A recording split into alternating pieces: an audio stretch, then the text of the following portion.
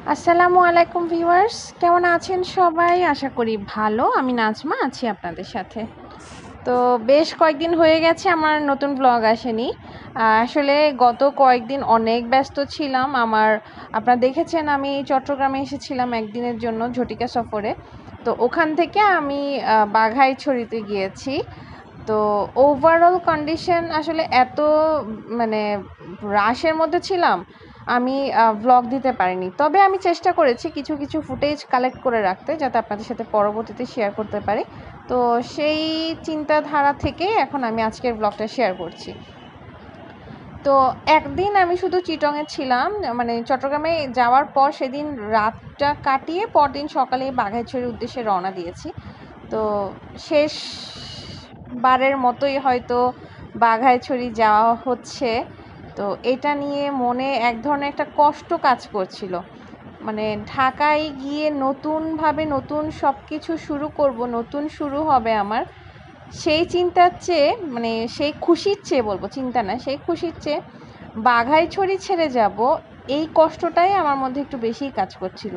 তো যাই হোক থেকে থেকে একটু একটু ইমোশনালও হয়ে যাচ্ছিলাম, খুবই খারাপ লাগছিল।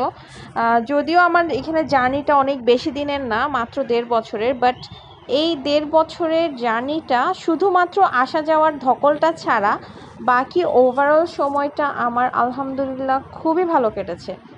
এবং এখানকার মানুষ এত ভালো, আমি আসলে কি বলব, আমি খুবই প্লিজড এই জায়গার প্রতি। এটা আমার বিসিএস জবের প্রথম পোস্টিং প্লেস তো সেই সুবাদে এটার প্রতি একটা আলাদা টান বা আলাদা মায়া সব সময় থাকবে।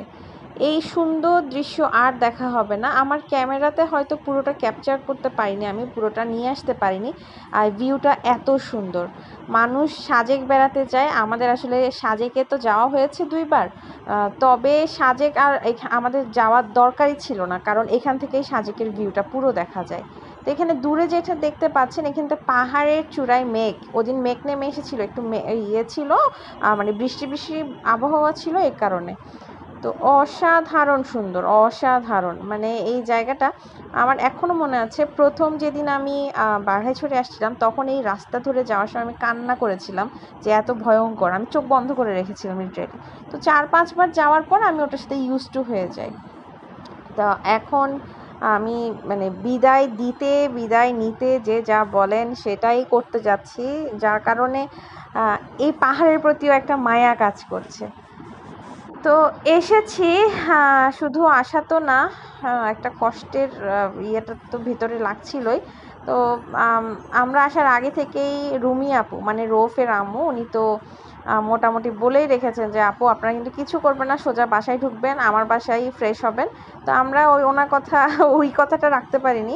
চিন্তা করলাম স্বাভাবিক আমরা জার্নি করে এসেছি। নিজের বাসায় একটু ফ্রেশ ট্রেশ হয়ে তারপর ওদের বাসায় যাই কারণ ওখানেও বাচ্চা আছে। মুনি আছে, রোফ আছে, এইসব চিন্তা করে আগে আমাদের বাসায় গিয়ে একটু ফ্রেশ হলাম, গোসল করলাম, বাচ্চাদেরকে গোসল করালাম, এরপর নিচে আসলাম। নিচে এসে দেখি এলাহি কারবার, উনি অনেকগুলো আয়োজন করে রেখেছেন। তো ওনার সাথে আমার দেখা না হওয়ার একটা পসিবিলিটি ছিল। আমি যদি একদিন পরে আসতাম, আর দেখাই হতো না। এর জন্য একটু বলতে গেলে আমি চট্টগ্রামে স্টে করিনি মূলত এই কারণে। হয়তো একটা দিন স্টে করতে পারতাম বাট চিন্তা করলাম, না, দেখা না হলে আবার আবার কখন দেখা হবে, তার তো কোনো নিশ্চয়তা নেই।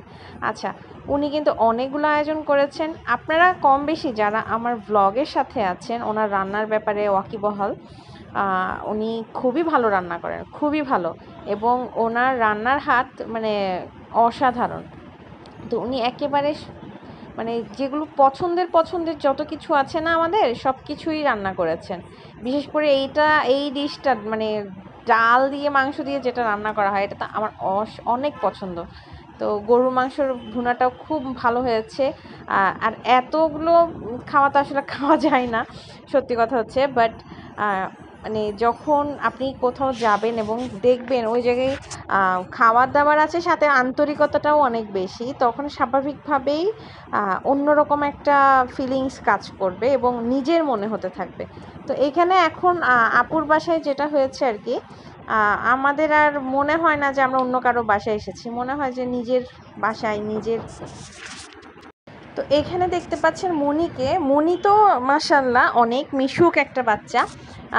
খুব ভালো লাগে তাকে কারণ সে হচ্ছে খুব অল্প সময়ের মধ্যেই সবার সাথে মিশে যেতে পারে এবং আমি যখনই উপরে উঠি তখনই বলবে, আন্টি যাব মানে আমার সাথে যাবে।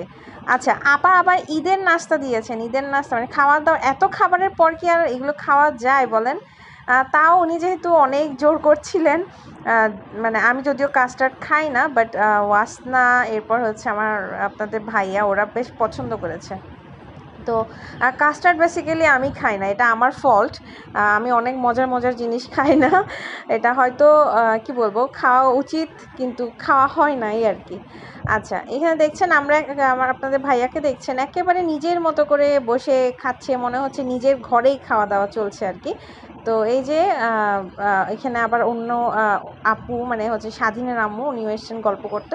তো খাওয়া দাওয়া শেষ করে আমরা একটু উপরে গেলাম খালাকে নিয়ে, যে খালা চলেন, টুকটাক কিছু গোছানো শুরু করি। তো খালা প্রথমেই যে আমাদের প্লাস্টিকের যে রেকগুলো ছিল, এগুলো সব খুলে এখন উনি মানে পরিষ্কার করে দিচ্ছেন।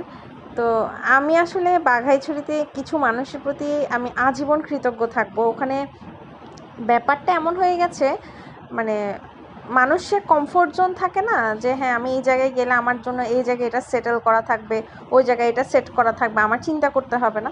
আমার বাঘাইছড়ির লাইফটা লিটারেলি ঠিক এক্স্যাক্টলি এরকমই ছিল। আমি বাঘাইছড়ি যাচ্ছি ইভেন টিকিটটা পর্যন্ত আমার ফোনে কাটা হয়ে যেত।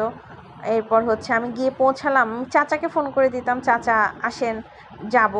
আমি যাওয়ার আগে দেখা যেত যে আমার খাওয়া দাওয়া রেডি কখনো কখনো খালা রেডি করে নি রেখে দিতেন। এখন গত কয়েকবার তো মানে রুমি আপু রেডি করেছেন। তো বেশি দিন থাকব না, দুই চার দিন থাকব। এই দুই চার দিন আমাকে আমার রান্নাঘরে ঢুকতে হয়নি বেসিক্যালি এরকম কন্ডিশন গেছে। তো আমি অনেক বেশি কৃতজ্ঞ, অনেক বেশি। এরকম মানে এরকম ভালোবাসা পাওয়াটা অনেক বড় ভাগ্যের ব্যাপার। মানে এটা আমি অনেক লাকি আমি এরকম ভালোবাসা পেয়েছি। তো আমি জানি না আমার আমার কি বলা উচিত। যাই হোক, আমি পরে কথা বলছি এইসব নিয়ে এইসব নিয়ে একটা আলাদা ভিডিও করব, ইনশাল্লাহ। আর এখন হচ্ছে আবার আপার ডেকে পাঠিয়েছেন, উনি চিতল পিঠা আর কি বানিয়েছেন আমার জন্য। উনি উনি জানে, উনি বেসিক্যালি এখন জানে যে আমার কি পছন্দ, আমার, আপনাদের ভাইয়ার কি পছন্দ। উনি ঠিক ওইভাবেই অ্যারেঞ্জ করেছেন সব কিছু তো বলতে পারেন বাঘাইছড়িতে যাওয়ার পর থেকে রান্নাঘরে ঢোকার আর ফুসরত হয়নি। ওই খাওয়া দাওয়া খাওয়া দাওয়াতে অবস্থা মানে অবস্থা আরও খারাপ হয়ে যাচ্ছে। এমনিতে ওজন বেড়েছে, এই খাওয়া দাওয়াতে ওজন আরও বেশি বেড়ে যাচ্ছে। তো এখন হচ্ছে আপনারা দেখছেন চিতল পিঠা বানানো হচ্ছে। তো চিতল পিঠা, ওই যে আমি বলেছি চিতল পিঠা আমার অনেক পছন্দ। আমার মানে পিঠার মধ্যে কিন্তু চিতল পিঠাটা আমি বেসিক্যালি অনেক পছন্দ করি। অনেকে ভাপা পিঠা পছন্দ করেন। আমি ভাপা পিঠা খাই বাট বেশি পছন্দ করি বলা যাবে না। বাট চিতল পিঠা আমার অনেক পছন্দ। আমি চিনি দিয়ে খাই, দুধে দিয়ে খাই, অথবা এরকম কিছু মানে ঝোল বা কিছু একটা দিয়ে খাই, এরকম আর কি। তো যাই হোক খাওয়া দাওয়া চলছে অবিরাম। তো, আমাদের আসলে মনটা অনেক খারাপ ছিল। মানে আমি জানি না, আমার ফিলিংসটা একটু ডিফারেন্ট আমার এখানে একটা গ্রুপের মতো হয়ে গেছে, একটা ফ্যামিলি হয়ে গেছে। এই ফ্যামিলিকে ছেড়ে যেতে হবে। এটা আমার বারবার আসছিল।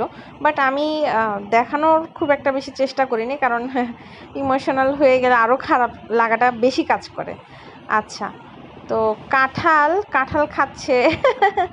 আর এখানে দেখছেন ভাইয়াকে। ভাইয়া হচ্ছে অনেক জলই একটা মানুষ। মানে খুব ফান লাভিং অনেক মানে অনেকে আছেন একটু মুড নিয়ে বসে থাকে, কথা বলে মজা পাওয়া যায় না। আমি বেসিক্যালি আমি যেহেতু খুব মজা করে কথা বলি বা মজা করে না হোক, কথা বলতে পছন্দ করি, তো আমার সাথে অল টাইম যারা কথাবার্তা একটু বেশি বলে, তাদের অনেক জমে যায়। তো ভাইয়ার সাথে এই কারণে আমার কথা বলতে শান্তি লাগে। আপু, ভাইয়া দুজনের মধ্যে বন্ডিংটাও অনেক ভালো মাসাল্লাহ আল্লাহ তাদেরকে এইরকমই রাখুক আজীবন। আর এখন দেখছেন আপু আবার ওয়াসনা ইউসটার জন্য এগুলো কিনে রেখেছে, এগুলো নাকি ওদের জন্য। এখন এগুলো পেয়ে তো ওরা মহা খুশি। মহা খুশি বলতে কি বলব? ওরা রীতিমতো এটা হাতে নিয়ে নিয়ে খেলছে কাউকে ধরতেই দিচ্ছে না, এরকম পরিস্থিতি। তো বাঘাইছড়িতে যেহেতু বিদায় দিতে এবং বিদায় নিতে এসেছি, আপনারা পরবর্তী ব্লগগুলোতে দেখতে পাবেন কি কি হলো, কি কি করতে পারিনি। তো ইনশাল্লাহ পরবর্তী ব্লগে আরও ডিটেলস দেখা হবে। আমি অ্যাকচুয়ালি আজকের ব্লগটা তেমন বড় করছি না। আমার ব্লগ এডিট করার ইয়েটাও আমি পাচ্ছিলাম না, সময়টা পাচ্ছিলাম না। যে ছোট্ট একটা ব্লগ চিন্তা করলাম আপনাদের সাথে শেয়ার করি। আশা করি আপনারা আমার সাথেই আছেন। তো যে যেখানে আছেন, আমার জন্য দোয়া করবেন। অ্যাকচুয়ালি শিফটিং ব্যাপারটা অনেক টাফ তার উপর বাঘাইছড়ি থেকে জিনিসপত্র ঢাকায় নিয়ে যেতে হবে। এটা তো আরও বেশি প্যারার। তো একটু দোয়া করবেন সবাই। যে যেখানে আছেন, ভালো থাকবেন। সবাইকে আল্লাহ হাফেজ।